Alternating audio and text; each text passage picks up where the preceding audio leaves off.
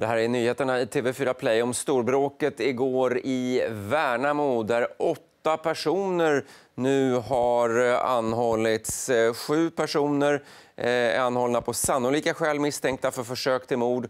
En person på sannolika skäl misstänkt för vapenbrott efter det här storbråket. Polisen larmades ju igår vid 17-tiden om skottlossning och bråk i centrala Värnamo. Ett flertal personer rapporterades skadade. De fördes till sjukhus. Det handlar framför allt om eh, skottskador, skärskador.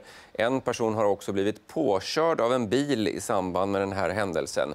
Eh, och efter ett intensivt eh, arbete i natt, både av polis och åklagare, så har då flera personer hämtats in till förhör igår kväll. Under natten så delgavs de åtta misstankar om brott. Eh, och strax efter midnatt så anhölls då totalt åtta personer. Sju på sannolika skäl misstänkta för försök till mord och ytterligare en person på sannolika skäl misstänkt för vapenbrott. Det här uppger kammaråklagare Jessica Andersson vid åklagarkammaren i Jönköping som leder den här förundersökningen. Hon eh, har i nuläget valt att kommunicera via ett pressmeddelande. Vi har inte fått tag på henne för en kommentar. Ehm, men utredningen, utredningsarbetet eh, i det här ärendet går vidare med förhör av både målsäganden, vittnen och de här misstänkta personerna. Eh, åklagaren vill ännu inte eh, kommentera varken vad gäller motiv, kön på de personer som har anhållits eller åldrar. Det finns inga kommentarer om Eh, detta. Men flera personer skadades, eh, framförallt skottskador och skärskador efter det här storbråket i eh, Värnamo igår eftermiddag vid femtiden. Senaste nytt alltså. Åtta personer anhållna efter det här bråket. Sju personer då anhållna på sannolika skäl misstänkta för försök till mord.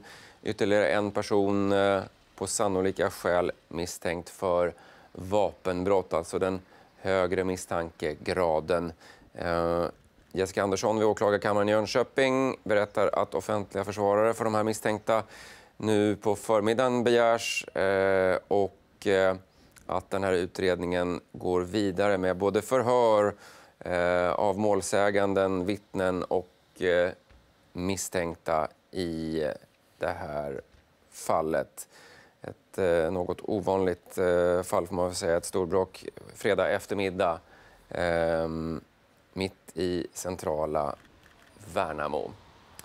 Jag håller er naturligtvis uppdaterade på det här, men senaste nytt alltså åtta personer anhållna, sju då för eh, misstänkta för försök till mord, allvarliga anklagelser. Dessutom en person på sannolika skäl misstänkt för vapenbrott efter det här storbråket i Värnamo igår. Vi håller er uppdaterade här i TV4-nyheterna på TV4 Play under dagen om detta och om andra nyhetshändelser. Nu rundar vi av den här sändningen. Tack för att ni tittade.